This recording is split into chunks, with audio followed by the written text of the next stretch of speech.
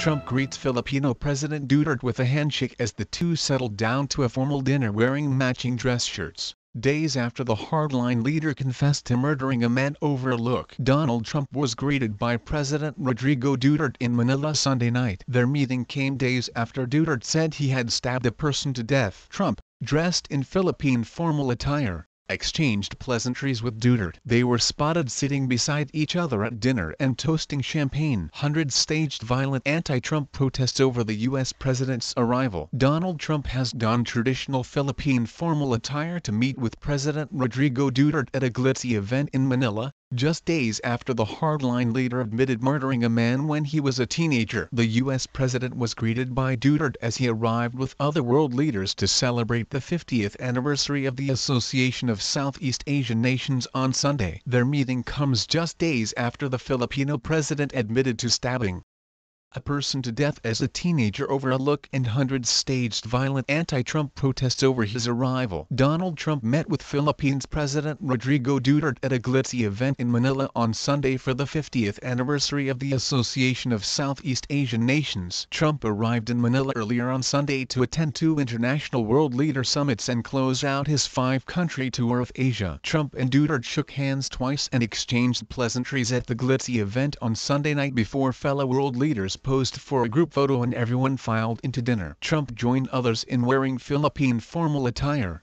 the barong tagalog, or long-sleeved white shirt. Duterte sat to Trump's left at dinner and they engaged in conversation before the first course was served. At one point they were pictured toasting with champagne. Trump and Duterte are set to hold more formal talks on Monday. The U.S. president was originally scheduled to depart Manila on Monday but he added a day to the visit so he could more fully participate in one of the summits. Duterte, sometimes described as the Trump of the East because of his brash and mercurial style, had said earlier on Sunday that he was sure Trump wouldn't raise human rights concerns when they met after the U.S. president previously praised his deadly drug war. The 72-year-old leader had said earlier in the week he would tell Trump to lay off if he broached the subject. Trump joined his fellow leaders in wearing Philippine formal attire, the barong tagalog, or long-sleeved white shirt. Duterte won elections last year after promising to eradicate illegal drugs with an unprecedented crackdown that would see up to 100,000 people killed. Since he has taken office,